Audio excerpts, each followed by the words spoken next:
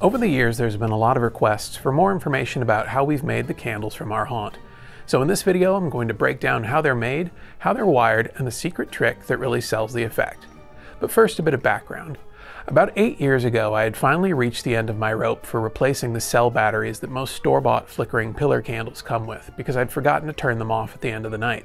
So I set out to make a few different sized candles from resin that would pass enough light, be sturdy enough for years of outdoor haunt use, and most importantly, look the part. And here's where I landed. These three candles are made of translucent resin, are wired up to the 12 volt RCA jack lighting system that our entire haunt runs on, and are outfit with either one or two flickering LEDs depending on their size.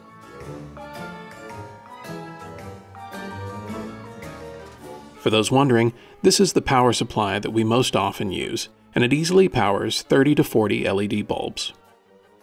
The candles have a small hole drilled through the bottom to accommodate the LED bulbs, which are held in place with a bit of hot glue.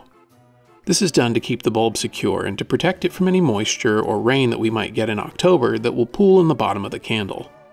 A bit of extra glue over the top of the bulb will help to diffuse the light as well.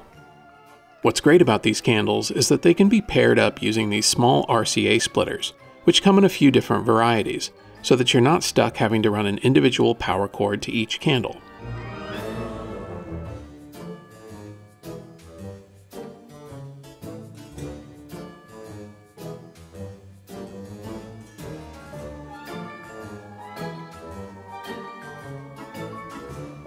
Now that you know the basics, I'm going to let you in on a secret we use an additional light source that's not inside the candle that's used to create even more glow.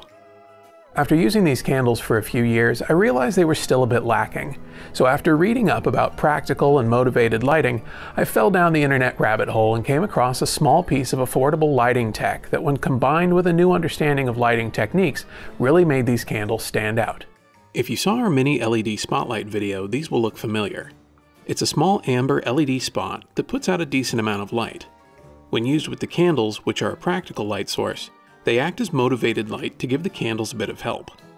What helps even more is when you incorporate what I like to call a modifier that turns this static spotlight into an animated one.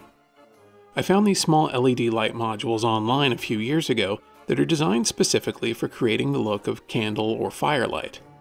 They have multiple flickering patterns and both the speed and brightness can be adjusted.